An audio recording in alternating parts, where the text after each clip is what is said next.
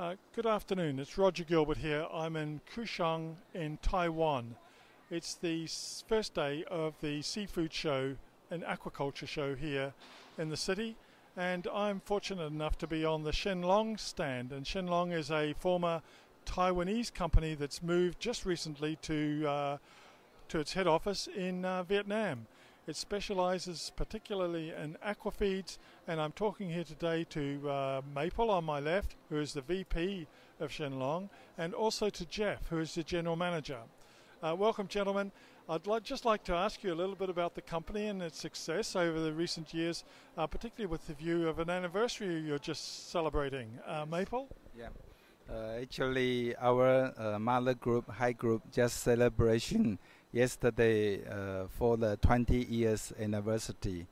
So uh, with great honor, we are able to achieve uh, 10 million tons of uh, feed sales within 20 years time. Yeah, so we are quite happy with that. That's a major achievement. But Sheng Long itself is more outside of China and operating in Southeast Asia. Can you tell me a little bit about where you operate? Uh, we are major uh, based in Vietnam. So in the past five years, uh, we has been, you know, for local feed sales already reach around uh, 880, 180 tons, thousand tons, yeah, for local market. So uh, beside from Vietnam, we are also exporting our product to India market and Malaysia uh, plus Philippines, Sri Lanka, uh, Myanmar, and Brunei, and so on. Yeah. Uh, Geoff, can I ask you, please, uh, where are your production units? Are they mostly in Vietnam, or do you have production units in countries like India, for instance? Uh, yes, our the India factory just uh, uh, uh, operate in November, uh, beginning of November. Yes, we have the three line the shrimp feed production. Yes, And uh, I understand you're also opening a third plant in Vietnam.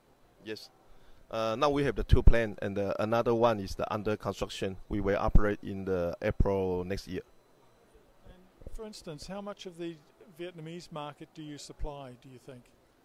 Uh, for shrimp feed this year, this year 2018, we uh, sub, we sales the 150,000 ton shrimp feed, and the one also the same the the quantity. So total is the uh, so the uh, same quantity the fish feed.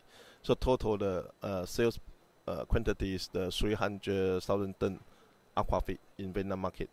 Uh, Maple, you, with the high tech feeds that you're providing into the market, do you see a shift in uh, farmers towards technology that they're taking uh, fish farming more seriously, that they have to uh, make more of a profit, uh, be more efficient, food safe, etc.? Uh, actually, I think to provide the stable quality for farmers is very necessary because nowadays the disease problem, the weather condition become unstable, so we have to maintain the good quality. But more, uh, more than that, I think we uh, we also provide the good quality seed and uh, service to farmers. Right now in Sheng Long, we already setting up uh, more than 26 service center. So we can have farmers to monitor their water condition. And we also provide the guidelines for the you know uh, develop the suitable model for their during the culture. Yeah. And how do you see uh, fish feeds developing or the aquaculture industry developing in this region? Fish feed in this region? I think fish feed has uh, still has a great uh, potential because nowadays the the sea catch uh, fish quantity continuously declining. So I think we have to work in now and uh, provide the good uh, protein resources, uh, you know, fish for consumers. Okay, well, Geoff and uh, Maple, uh, congratulations on your anniversary and all the best in the years ahead. Yeah, thank you so much. Yeah, thank you. Thank you.